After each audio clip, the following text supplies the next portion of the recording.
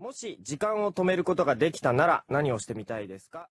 普通これ、男子で言ったら、例えば女風呂に入りたいとか、でも動いてないんですよ、相手。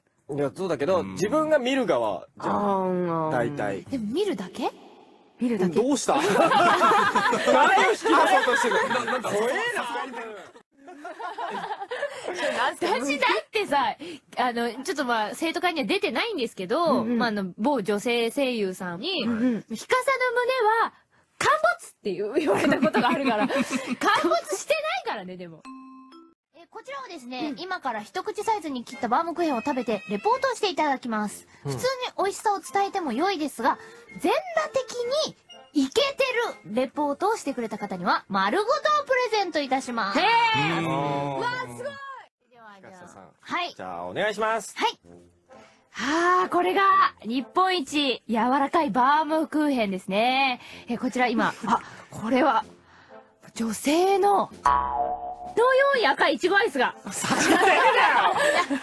いじゃあちょっとまずはこのいちごアイスをですね、ちょっと食べてみたいと思います。まず一番です。うーんの味。危ねえよ。さあ、それではこの日本一柔らかいバウムクーヘン。ちょっと見てください、これ。見れない。ラジオ。こう、スプーンでこう刺した時に、早く食えよ。早く食えよ。って入っていっちゃうんですね。柔らかい。もう、見た さあ、それでは早速このバームクーヘン食べてみましょう。直。接言っちゃったよ